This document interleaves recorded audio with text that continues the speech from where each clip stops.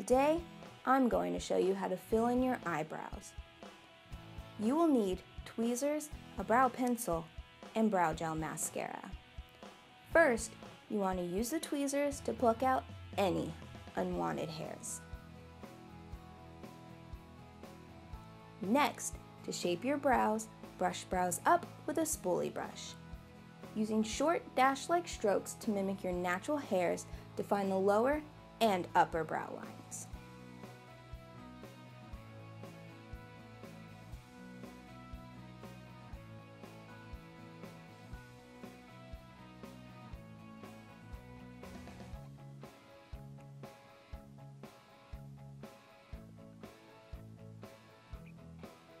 You also want to fill in any patches that you see.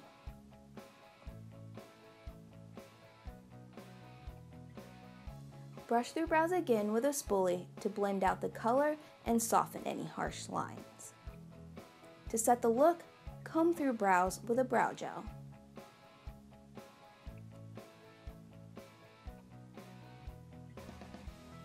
And voila, you've just perfected your brows.